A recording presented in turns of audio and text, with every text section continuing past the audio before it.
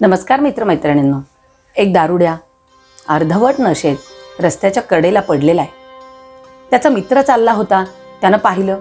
जवळ गेला. अर्धवट शुद्धीत आहे शुद्धीत आहे जरा. अंदाज घेतला आणि मग मात्र या मित्राच्या मनात विचार आला. याची थोडी गंमत करावी. आणि मग यानं काय करावं? यांनी त्या मित्राला सांगितलं अरे मी तुझ्या घरावरून आत्ता आलो. तुझी पत्नी विधवा झाली आहे. जा उठ. तिचं सांत्वन कर. तिला समजावून सांग. आता या दारुड्याला तेवढं वाक्य कळलं नाही फक्त एवढं कळलं आपली पत्नी विधवा झाली आणि हा रडायला लागला.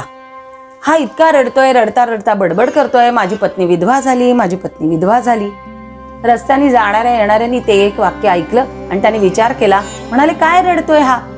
त्याने त्या दारुड्याच्या पाठीवरती दोन थापा मारल्या आणि त्याला सावध करत म्हटलं अरे तू जिवंत असताना तुझी पत्नी विधवा होईलच कशी? का रडतोयस तू? तसं याने त्यांना सांगितलं अहो माझा माझ्या मित्रावर विश्वास आहे. तो असं खोटं बोलणार नाही. तो खरंच असं काही करणार नाही. तो म्हणतोय म्हणजे माझी पत्नी विधवा झाली. अरे तू जिवंत असताना ती कशी होईल विधवा? मंडळी आपलंही असंच होतंय का बघा? आपल्यातही एखादा दारुड्या आहे का?